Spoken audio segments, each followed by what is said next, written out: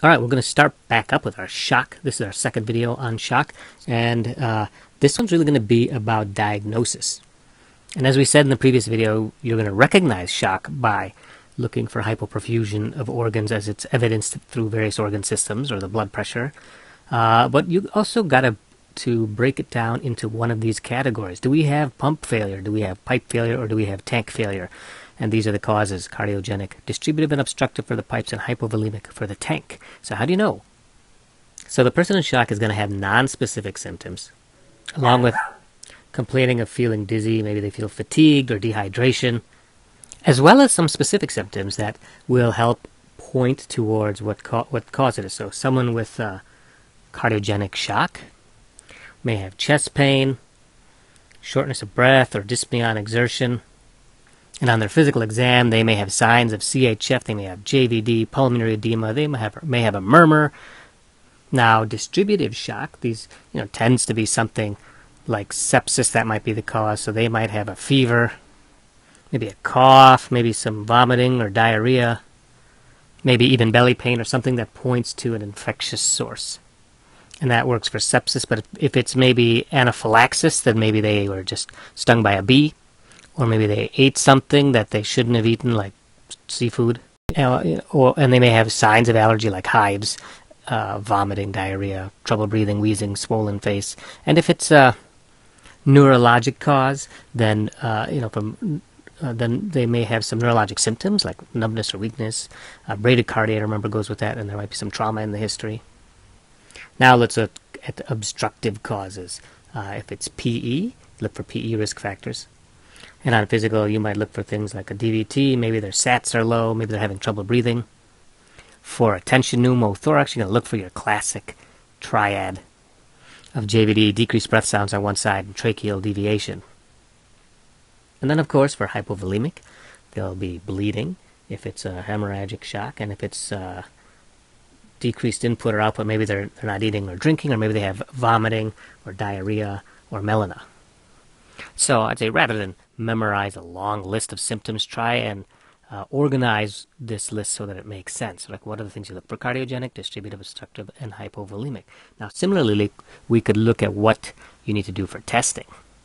So, we'll, of course, start with some generic tests uh, as well, like looking at a glucose, and you can get either an ABG or a VBG. Personally, I prefer the VBG because it gives you almost exact same information as the ABG without any of the risks of doing the ABG. Mainly you'll get the pH, the CO2, base excess, and lactate, among other things. And then, if you're looking for a cardiogenic shock, what would you get? Well, of course, you're going to get an EKG and a troponin. You can get a chest x-ray to look at the heart size, especially if you're worried about cardiac tamponade. Your distributive shock, you're going to look for things that might help you pin down a source of infection. So you'll probably get a UA, you'll probably get a chest x-ray. A CBC is not going to help you pin down a source of infection, but you're probably going to get that.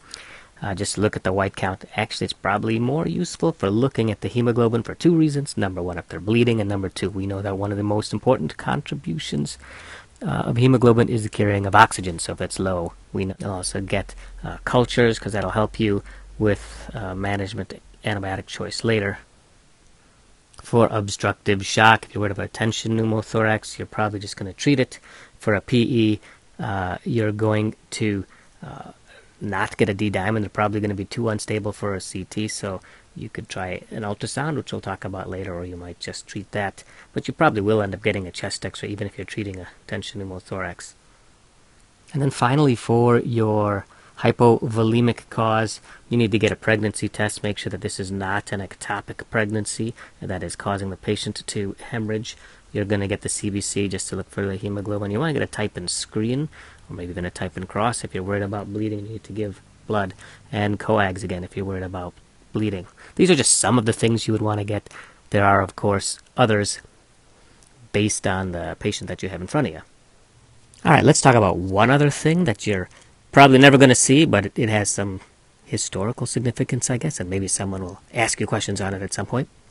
And that's the oxygen extraction that we talked about earlier. Now, there's two places that you could measure oxygen extraction, uh, and that really means uh, how much, you know, And remember, oxygen extraction is the amount of oxygen that was taken out. We can't measure that, but we can measure what's left, right? So we're going to measure what's left. And that's going to be the saturation of oxygen in the central venous system. So that means in the SVC, you can do that by putting in a central line. Or you could measure the oxygen saturation in the mixed blood that comes from below the IVC as well as the SVC, mixes in the heart, and then goes into the pulmonary arteries and into the lungs. And that's called uh, the SVO2, and you're going to measure that with a pulmonary artery catheter.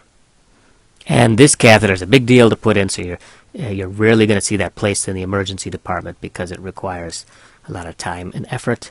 Uh, we are more concerned with resuscitating the patient than getting these small, uh, the, you know, these, these numbers here. But you might see it in an intensive care unit.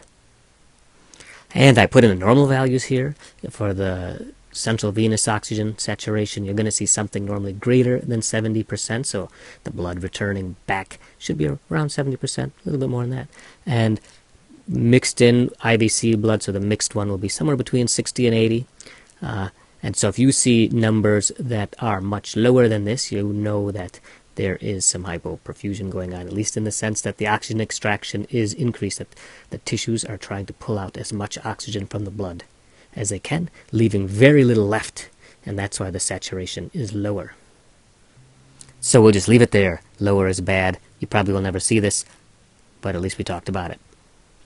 Now another great tool that you can use is the ultrasound because you can pretty much diagnose each one of these things. If you're looking at cardiogenic shock, you could actually just look at the entire heart and see if the heart is pumping properly. You can look at the valves. You can look at the pericardial sac to see if there's any blood in that space. For a PE with obstructive shock, you can look to see if the right heart is working extra hard. It might be dilated. It might even be encroaching upon the left side. You can look for a pneumothorax, and we already said that you can look at look for tamponade by looking at the pericardial sac. And oh, I forgot, for PE you can also look for a DVT in uh, the leg.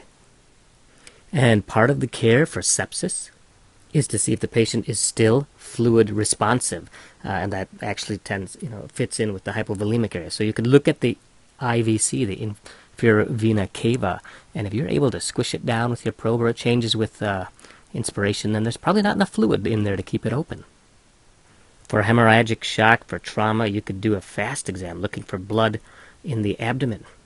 And you could even see blood in the chest. And you maybe also would look for a AAA that could have ruptured. And for hypovolemia, we already talked about checking for fluid responsiveness, responsiveness by looking at the IVC. So with ultrasound, you're really able to do a lot. You're able to look at the heart. You're able to look at the vascular tone, or at least evidence of problems with the vascular tone. And you're able to judge uh, the volume status. So that really gets you a long way uh, on this pump, pipe, tanks, pumps, pipes, tank uh, paradigm. So the ultrasound tests that most people use or protocol I should say, is called the RUSH protocol, and it stands for the rapid ultrasound for shock and hypotension. And so the person who's doing the resuscitation should not be the one doing the ultrasound because whoever's doing the ultrasound is going to be focused on that and not on resuscitating the patient. And so what's the problem in shock? You have a low blood pressure, right? You have low perfusion, and so your mean arterial blood pressure is low. So what do we want? You want a high MAP. So that's our goal, to have a high map. And of course, this stands for something. Uh, all the places that you want to look. The heart, the IVC, Morison's, pouch, the aorta, and look for a pneumothorax. This is just a screening exam, so it's just something you can do quickly at the bedside. So we'll just go over these very quickly, and maybe in another video we'll go through this in more detail. So first thing you're going to look at is the heart, right? So you're going to do a parasternal long axis, and you get a good view of the heart. Next, you look at the IVC looking for fluid responsiveness, and if you can see 50% collapse of the IVC, you think then this guy needs more fluid. Then the next one that we're going to do is uh, Morison's pouch. And while you're there, you may as well look for a pneumothorax because the lung, the base of the lung is right there. And you'll probably do the other side too, looking at the splenorenal space because, you know, it's just on the opposite side. And you can also look for a pneumothorax on that side as well. Okay, we got HIM, now we need A. And A is for aorta. And this is going to be a long view. You're going to slide the probe down here, looking at the aorta all the way down to the bifurcation. And you want to look for anything that's greater than 3 centimeters. That would represent possibly an aneurysm. Alright, there's two other places you could look for a pneumothorax, and that's up here in the chest. And so those are two more pneumothorax views. You may as well finish off your fast exam and do a bladder view. And also, you know, for looking for PE, you may as well look for a DVT. And that finishes off our high map, plus a little BD at the end, bladder DVT, to look for potential sources of the shock. And remember, it shouldn't be the person leading the resuscitation, but someone else doing it. And they should not get in the way of any other treatment. So that concludes this video looking at the diagnosis of the potential causes pipe, of pump, pipe, and tank failure. And in the next video, we'll go and look at treatment. All right, I'll see you there. Bye-bye.